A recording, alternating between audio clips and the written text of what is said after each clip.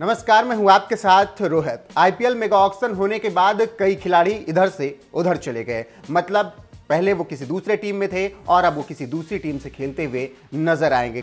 कई ऐसे बड़े खिलाड़ी भी रहे जो कि अब आपको दूसरी टीम में खेलते हुए नज़र आएँगे। वहीं कई ऐसे युवा खिलाड़ी रहे जो कि अपनी फ्रेंचाइजी के लिए बेहतर करते रहे लेकिन इस मेगा ऑक्शन में उन्हें अपनी टीम ने नहीं खरीदा, जिसके बाद वो अब दूसरी टीम में शामिल हो गए हैं। ऐसा ही एक नाम है आवेश खान का। आवेश खान, सबसे पहले आपको बता दें कि सबसे महँगे अनकैप्ड प्लेयर हैं, उन पर 10 करोड़ की बोली लगी 20 लाख उनका बेस प्राइस था। ऐसे में वो दिल्ली कैपिटल्स से अभी तक खेलते थे, आप सबको पता है, और दिल्ली कैपिटल्स की तरफ़ से खेलते हुए जिस तरीके से आवेश खान ने प्रदर्शन किया था, वो काबिल तारीफ़ था। एक बात तो यहाँ तक थी कि महेंद्र सिंह धोनी के सामने आवेश खान हमेशा सफल साबित हुए पिछले आईपीएल में। और अब आवेश खान दिल्ली कैपिटल्स की तरफ़ से नहीं होंगे और ऐसे में कप्तान ऋषभ पंत ने सॉरी बोला है आवेश खान को और उन्होंने कहा है कि हम तुम्हें ऑक्शन में नहीं खरीद पाए, इसके लिए माफ़ करना। आपको बता दें कि आवेश खान ने इस पूरे ऑक्शन के बाद एक इंटरव्यू दिया, जिसके बाद उन्होंने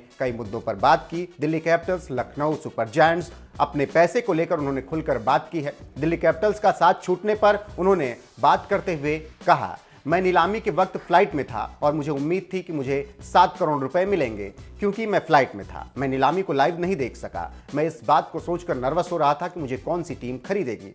फ़्लाइट से उतरने के बाद जब मुझे पता चला कि लखनऊ ने मुझे खरीदा है तो मैं कुछ सेकंड के लिए बिल्कुल फ्रीज हो गया था। लेकिन थोड़ी देर बाद मैंने खुद को फिर से सामान्य किया।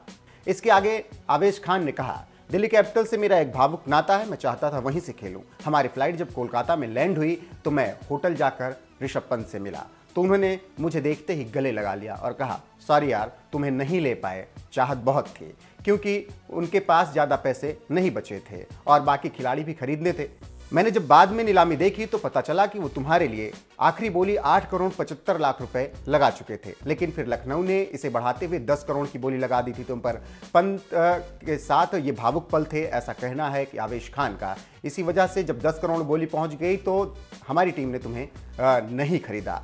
और हम अंडर 19 में साथ रहे, हम मैच साथ खेले, इसीलिए हमारा एक अच्छा रिश्ता पंत के साथ है। तो ये बातें आवेश खान ने कही और बताया कि किस तरीके से दिल्ली ने पूरा प्रयास किया कि आवेश खान को दोबारा टीम में शामिल कर लिया जाए, लेकिन बोली बहुत ज़्यादा आगे बढ़ गई थी। 20 लाख के बेस प्राइस वाला खिलाड़ी 10 करोड़ रुपए तक पहुँच गया था, जबकि दिल्ली भी 8 करोड़ 75 लाख रुपए तक की आखिरी बोली लगाकर ही आवेश खान को छोड़ी थी। ये बात ऋषभ पंत ने कही कि प्रयास पूरा हुआ, लेकिन बोली ज़्यादा लग गई थी और खिलाड़ियों को भी खरीदना था, इसीलिए हम तुम्हें अपनी टीम में शामिल नहीं कर सके। इसके लिए माफ़ करना यार। तो फ़िलहाल जिस तरीके से ऋषभ पंत ने गले लगाकर आवेश खान को ये सॉरी कहा है और कहा है कि हम तुम्हें नहीं ले पाए, इसका हमें दुख है, इस पर आपका क्या कुछ कहना है, अपनी राय हमें कमेंट कर ज़रूर बताएँ।